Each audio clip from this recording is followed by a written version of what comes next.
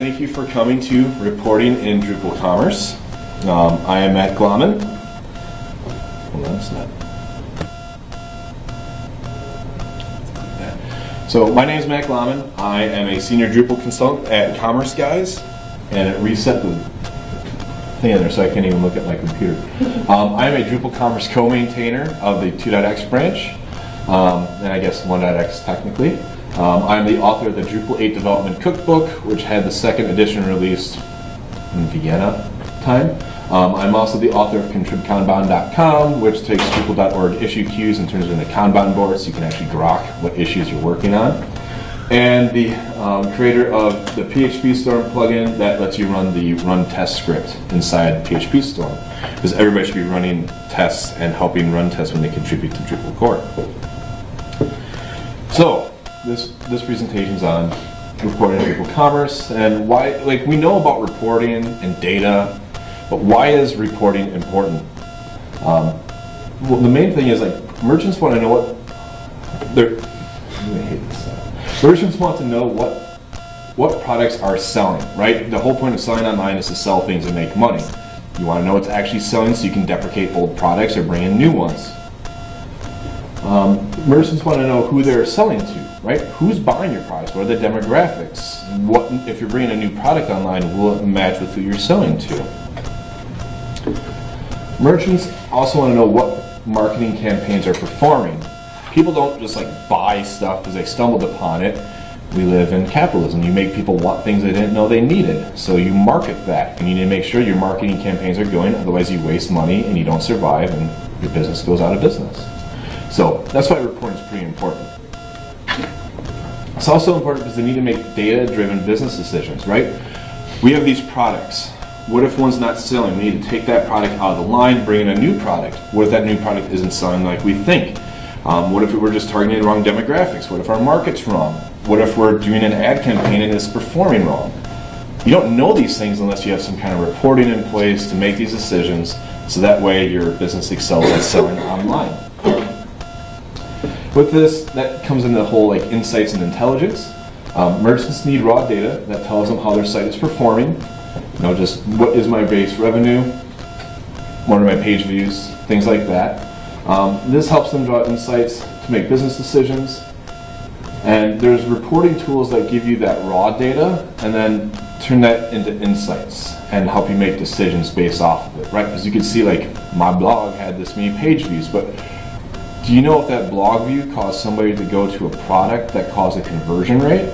Or that you had traffic coming from Facebook, but did they buy a product?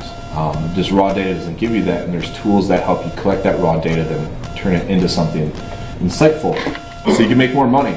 That's the end goal when selling online.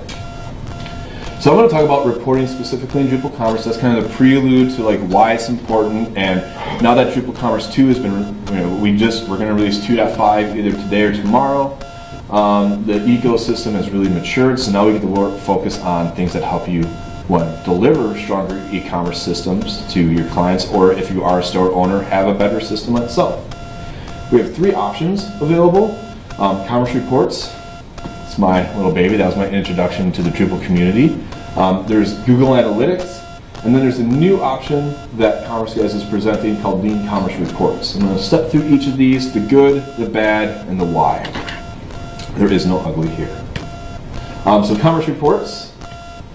Um, so Commerce Reports is a native reporting tool built in Drupal and Drupal Commerce. It kind of follows that Drupal way, where you like install a module and it just does the things with your own data, and it's right there.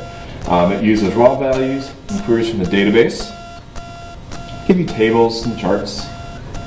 Um, it's currently in alpha status. It's near beta. Um, I sprinted on it in February when I was at Florida Drupal Camp to get it into an alpha-ish status.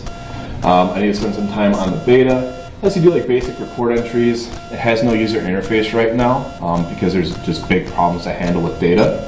Um, so I'm the maintainer, and I also have a shout out in here to Chris Rockwell, who's not here. I don't. I think he's on the West Coast. Um, I had an architecture plan. He wanted to tackle this for a client, and I spit out randomness in Drupal Slack, and he turned that into patches that unblock the project. So I, you know, contribution is always great like that, um, and that's why we now have an 8.x branch. So, what's the plus side of Commerce Reports? It's free, it's on-site reporting that uses your existing database. There's no extra cost, technically. Um, you don't need to pay for a third-party service, you don't need to pay for a module, you don't need to pay for whatever else, but you kind of pay it in the unknowns. Um, so it's going to impact your database storage, which means that we're adding more records to your database that should be used for your products and your orders. Um, so you might have to buy more database storage because you're a data warehouse now. And it also affects your impacts your performance. You've got that store manager that's like, I want to see my revenue reports every hour and is refreshing that page. And that same database that's reading orders is supposed to be serving your clients to take their money. Well, a slow database means slower checkout, which means higher abandonment of checkout. So you know, there's some trade-offs there that can be mitigated and worked around, but that is one of the gotchas um, that could you need if they're doing that, you might need a bigger database server. Um, the big improvement with Commerce Reports, and this is in 8.x specifically, this is kind of like a learned lesson after I became maintainer of the 4.x branch, is it stores information in a denormalized fashion. So people that don't, that don't know about like normalized and denormalized data, Drupal's all about data model, and normalized data means like each thing has its own table and relationships. That's why we have multi-value fields so easily. That's great until you have to query this, like send it to an ERP in the backend, or an ERP needs to actually scrape your database, or you need to do reports, or somebody's trying to work with views in this. You need to make like five different relationships and then tell them how to configure it. It is not easy. So the new architecture is it takes an order once it's been placed and puts it into a more understandable format, which makes it easier for reporting, also sending off to another backend system that might do things with that data. Um, you can query reports using familiar APIs. So reports are saved as a content entity. So if you're a developer and you need to write a custom report, you can use something familiar that you would use to like load nodes to load something else. Um, you just use the aggregate query that the core entity API provides. Um, it also provides concrete financial reporting. So uh, a lot of people use commerce reports for tax reporting at the end of the year. They query their orders, they figure out how much tax remittances there is, and then they use that for their financial reporting. And it's great because it's off your raw data. You can query your raw data, generate a report, have something there. Um, so that's one good part about it. And then there's a quick view of the, the UI at the moment. It's just tables. You know, there's no fancy dashboard. It's just like order totals. It's not like product-based ones yet. Um, it has a pluggable architecture, so those things will be coming down the pipe. Um, some negatives, like I said, use the same database as your store. I mean, I guess you could configure it not to, to have its own database that it writes those entities to. That's above my knowledge that I looked into. Creating a report requires a developer and code which was kind of the actual truth back in Drupal 7, but people had views. You could do it without code and views, but you still needed to be a developer to write reports. So Drupal 8, I don't plan on out-of-the-box supporting views. It will work, but really you should be writing code for a lot of these things. Um, user interfaces are hard, so instead of focusing on user interface, it's just like provide the data model and figure out how to represent it. Especially if we come up with a better decoupled system, like if React, if React admin comes in the core, we can like build a really cool dashboard using JavaScript instead of Drupal's, Drupal's render system.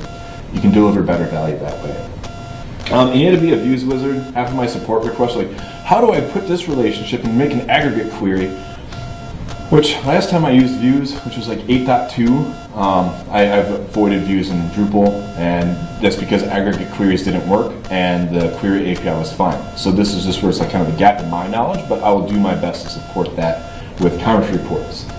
And one of the big issues, and this was highlighted about who you're selling to and what they're doing, it's server side only. So you don't know anything about the customer except for what they tell you on checkout. So if they come and they added a product to the cart, you don't know who they are until they enter checkout and, and they, they say, I want to tell you more about me. So if they don't get there, you know you have abandoned carts, but you don't know where it came from, why, anything about their story that brought them to the site and may have caused them to leave. You can't make business decisions off that. You can see what products they're selling, but you don't know why they are. You just know the fact that they exist and they are being sold at this value. So next we'll transition to Google Analytics, which kind of touches on that server side, or you know, the mitigation of the server side issue. Who here uses Google Analytics on their website currently? Yeah, just about everybody because they power like 90% of the web analytics out there. And they have an e-commerce plugin. Makes sense. Um, so Commerce Google Analytics adds the e-commerce reporting to the Google Analytics module. Basically, when events happen, it bubbles up information into the page and has JavaScript send it out. It's as simple as that. So you have the Google Analytics module installed. It just sends extra data that should be out there. Um, since, event, since, yeah, since events is the client, you have a basic dashboard in here. Um, give me some revenue reporting various things. Um, the current status, it's in dev status. Like somebody got maintainer access to the basic port and it sends raw, very minimal data. Um, it's transaction only, doesn't give you information about card or checkouts. It's, all those things are supported, it's just not there yet. There's no plan. Um, last I checked, we were seeking to gain like maintenance of it so we can start fleshing it out. Because even though it may not be like in our like core pocket of things that we want to be flushed out, but we don't want somebody to need this and then turn away from the platform because it doesn't exist. So we are going to try to at least get it to a workable version. It may not be like a full feature implementation, but you should be able to install it and get those basics there because um, we want you to use Drupal Commerce and succeed. You know, that's our job as maintainers, whether it's not whether it's in contrib or core. So the plus size, again, free-ish. Um, Google Analytics is free. That's probably why most of you have it on your site. Is right, you go to Google Analytics, you sign up, and boom, they give you a tracking code, plug it in. You start seeing who's on your site in real-time data, which is really cool. Except you're giving all your data to Google, which I know they have privacy policies and all that, but know why they want to have their stuff everywhere on the web because then they can track global behavior. Some people like that. Some people, you know, that's part of the contract. I have an Android phone. I give all my stuff to Google because they give me cool free stuff.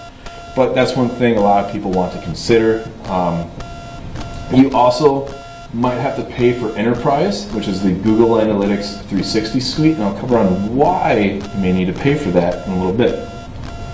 Um, another good part is it allows client-side tracking behavior. You can know how they got to your site, what they clicked on, you know their user story and their journey to cart abandonment, to just browsing the site, to converting. Um, that lets you build a better buying experience because that's how you find out your drop off is at the the review page. Like hi, like people go through the problem of giving you their billing information, their shipping information. They get to the review page and then they drop. I was like, well, why? Oh, well, maybe because we don't have Ajax showing the shipping method, the, like the shipping payment information. They only find that when they get to the review process. Now, Commerce doesn't do that out of the box, but that's you know like, that's an example. All of a sudden, they get to the review process, they see taxes or shipping like finally calculated, and they're sticker shock, so they cancel. That's where client-side information is key because you know where people stop in the process of giving you money. Um, you can configure your checkout steps.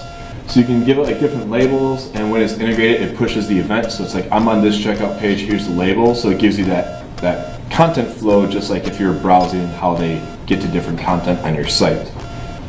Um, like I said, it's not implemented yet, so that's why these charts are really sad and boring. Um, but hopefully, in a little bit, we'll get this fixed and I can update the slides.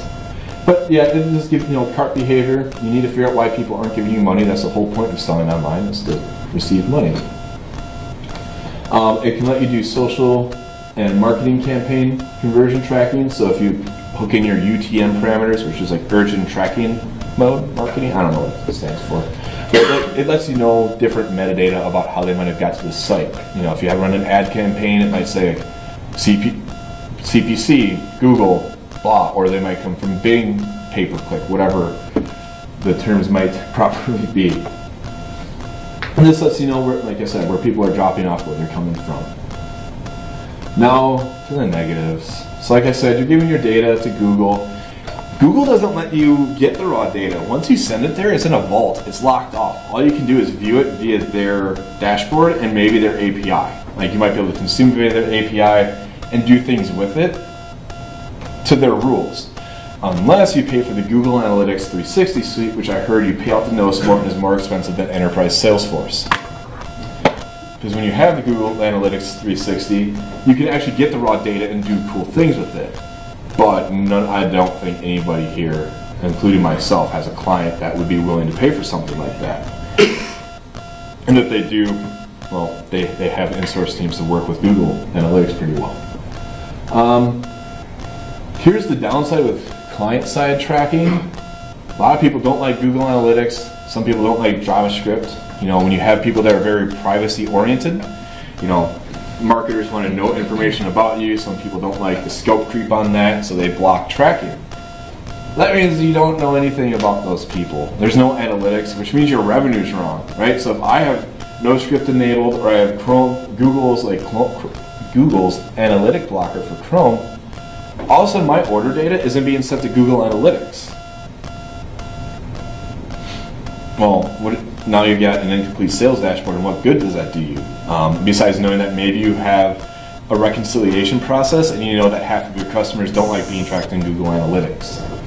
Um, so it provides no guarantee of conversions, and Google Analytics itself has no SLA, service level agreement, on events being entered into Google Analytics itself. Um, may, I think there might be like a server side way to push data into Google Analytics, and that could be a way to mitigate it. But in the most common way that it works, that doesn't exist. So you can get little black holes in your data, which is no fun. Um, and I tried to do this myself, and I have no idea how to write custom reports in Google Analytics. So you still need that expertise challenge with commerce reports, right? Someone needs to know the code, need to know views to do something. Google Analytics, you need the same thing. I tried to make some custom reports, but I have no idea how to plug it together. And I know there's people that make lots of money consulting for Google Analytics because you can do really cool things. I was on a project for a ski company. They took the sales data in Google Analytics, weather, and found out that actually when it gets ski season, the highest selling places were the southeast, southwest, where it was hot. Not when it got cold, it's because everybody where it's hot needed to buy supplies to go skiing in Colorado.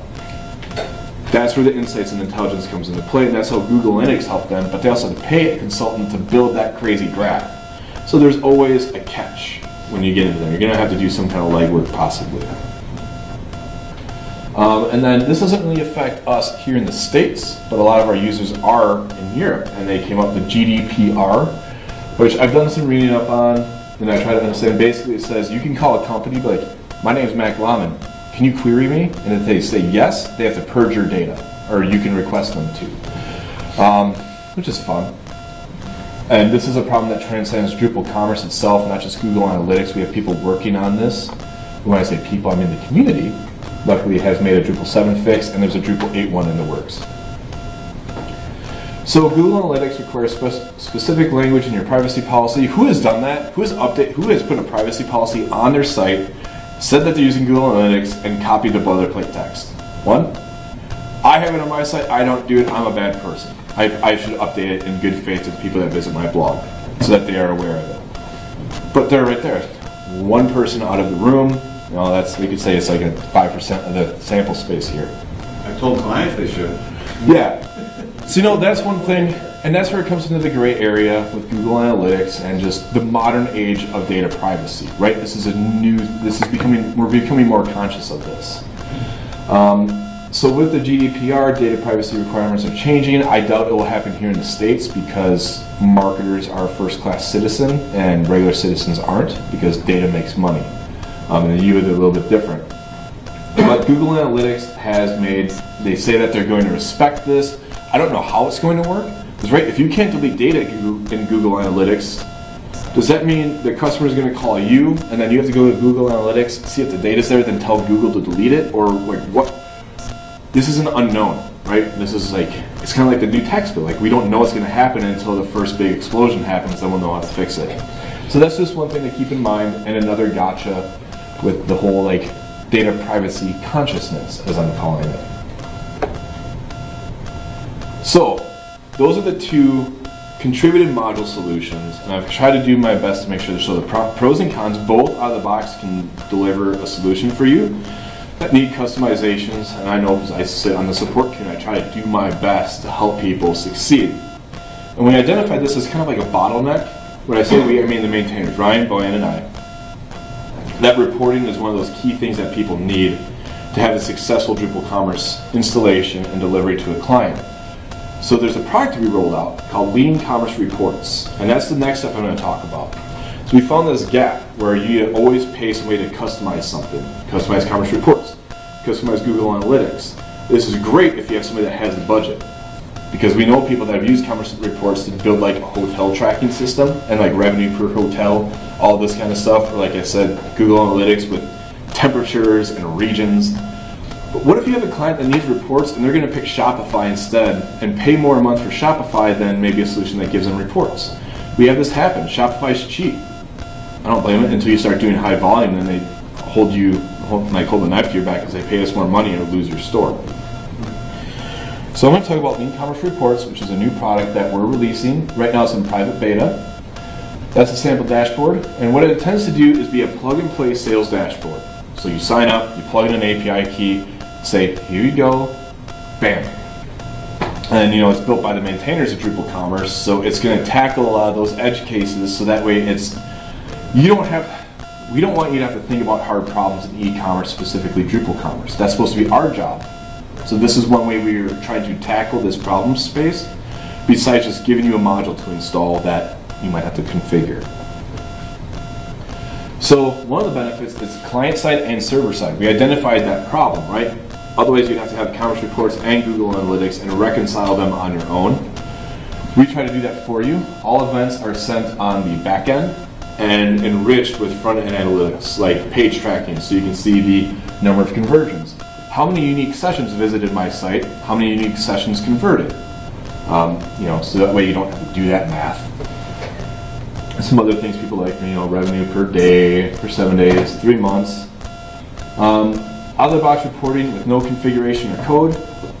Um, so here, the, the examples I have on here, let me stay within the mic. So top products, your conversion funnel, you know, like I said, the drop-off effect. That it, I think we have that as both back end and front end. We're sending the events. Um, and then traffic by channel. An example here I make about traffic by channel, and I forgot to mention with Google Analytics, because that's a key one that helps with this. The Pinterest versus Facebook paradigm. Pinterest is shown to be an excellent e-commerce channel. People buy stuff from Pinterest. Facebook, people use for advertising well, are you spending 300 bucks a month on Facebook to advertise products and getting no conversions, so you're losing money? But Pinterest, you're just like, hey, I got somebody that pins something, and you're making money off of it. You're losing money on Facebook by paying more for the wrong marketing campaign. You can decide Facebook should be brand awareness. Pinterest, I could advertise on, increase my conversions, and Pinterest could be how you make money with advertising. Facebook could be brand awareness and it's cheaper to do brand awareness marketing on Facebook. So that's where the whole client side analytics is big, and that's where we try to help you out of the box. Um, out of the box reporting, again, you know, the table, you can filter it, stuff you come to expect. Um, cart checkout funnel analysis. Eventually, this will be split up where you can see what specific step of checkout is dumped out. Right now, it's kind of bundled, especially since Drupal Commerce 2 out of the box has two pages only. Drupal Commerce 7 does have like billing. It has like four, but most people have condensed it to two. So we just avoided the, like I said, it's private beta, so we don't have like that config yet, but that is something we'll add. The traffic tunnel reporting, you know, the effectiveness of advertising campaigns. You know, what if you decide to give Twitter a try and advertise on Twitter, and what if it works? You know, this way it lets you know where they came from.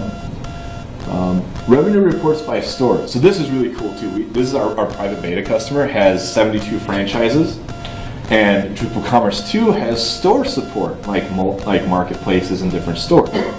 But in this example, I went for you know I have a United States store, I have a Canada, UK, and Mexico, right?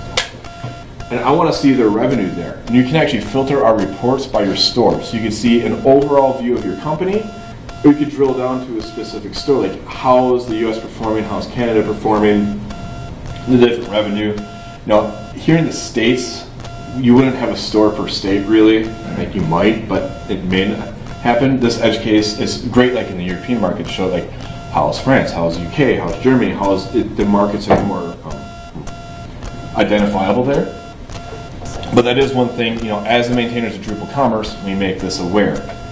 Um, Drupal Commerce 7, it would be one store. We're trying to figure out how you could possibly say my three Drupal Commerce 7 installs or Drupal Commerce 1 installs should be in the same account so you could see like a filter store view there. Um, but we just haven't had anybody request that quite yet. And stepping back to that request that quite yet, since it is a software as a service platform, you get iterate, you pay that flat monthly fee. I think we're doing like an intro of like 10 bucks a month and get those improvements over time versus writing that code yourself. Um, ah, evolving platform. I am on here. So the first one shows tax reporting. Um, I changed the names from the actual data, but they, like the other client has different tax reports. So this this isn't like commerce reports where you can go back and query the raw data because what if there's a return, what if there's like an adjustment? This is like a snapshot of data, but you could, you know, at a quarter analysis when you just have to do your ballpark pay-in, look at this, say, all right, I paid this much money, okay, write that check to the government, we'll do the full reconciliation at the end of the year. So for those of us who do have to do quarterly tax payments or however, it would be nice to just quickly know, yeah, we gotta write this check, end of the year we pay more or we get a slight refund. Um, and then promotion, promotions, you know, tracking coupon codes. This is something that could be that could be provided by um, promote by core Drupal Commerce itself with usage counts or commerce reports. But by having this data, we can help do insights. We can help merge it in and help you see the bigger picture. Uh, Yeah. Uh, Does that also support the regional, like municipality, state level? Is this included? So that table is populated by the tax rate reported, Whatever you have set up. whatever you have set up. So like in our case, they have food tax, no food tax, something else. yeah. Use tax, whatever. right. Yeah, so it would show up as different records. And this is one we're collecting this data right now, but we don't have it exposed in like the UI. Right. So we're, we are trying to be proactive. Like we have, we know all these things we need to collect, but they're not necessarily exposed in the UI yet. Um, like I said, so it's a plug and play dashboard for Drupal commerce sites, and it is pitched as a software as a service. So that way, you don't have to turn a client away from Drupal commerce because they're missing a feature. You know, there's plenty of clients that have like forty thousand dollars to throw at a reporting solution. There are some people that want that. They want it to be bespoke. And then there's clients that ju- they just want it to work. Or there's an agency that just wants to offer it and then see if the client later wants to do a more robust reporting solution. And as commerce guys, as the maintainer of Drupal Commerce, we want you to succeed as agencies. And this is a new product that we want to offer alongside Drupal Commerce that helps you do that. Well, I think like the starter one's like 10 bucks a month, and then there will be like incremental value or like incremental changes to get more of that insights and data. Um, but it helps with the offloaded storage. Now it's not stored in your database, which is a good thing. We actually had a um, data loss issue, and I was able to go into our bucket of data, download it, hand it to the client, and they're able to reconstruct the last 24 hours of data that they had lost. So like we might even be toy- toying around with is it also a data recovery solution because you're offloading your data your your information somewhere. So if you do have that blip of six hours and like shoot, we have to we have to fulfill these orders, all that. Um, so that's that's it. Oh, and you don't have to log into a different site either. When you install our module that sends data, we actually add a dashboard that has an iframe, so, and it has its own permission. So you can give the store manager, you know, like your client or your store managers access. They can view it and they get the dashboard rendered inside Drupal via an iframe. No extra login somewhere.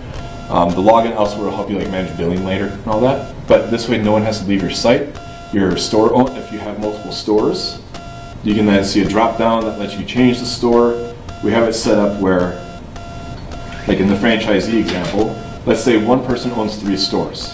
They get a drop down that shows their three stores. If you're an admin, you see all the stores. Or if they own one store, they don't see the drop down at all, they just see their dashboard. And there's a way to like aggregate your three stores into one view or individual. we want to solve, at Commerce Guys, we try to solve the hardest problems of selling online, and this is one of our ways to try to do that for you. So, I only got a minute, this is 30 minutes, um, for questions. So, we're gonna do a minute of, actually it's lunch, so I guess we could sit and ask a few questions, but if you're hungry, don't. Like, just wait, I, I will be here today and tomorrow for the sprints. So if you do have general Drupal Commerce Drupal Commerce questions, I'll be at the sprints tomorrow from 10, running sprints, mentoring, answering questions, or just hunt me down today, and I love to talk about this stuff. So, questions? Wow. We're stunned by awesomeness. Yeah. Absolutely. So, I I, I went through that as fast as I could because I didn't want to like go over. And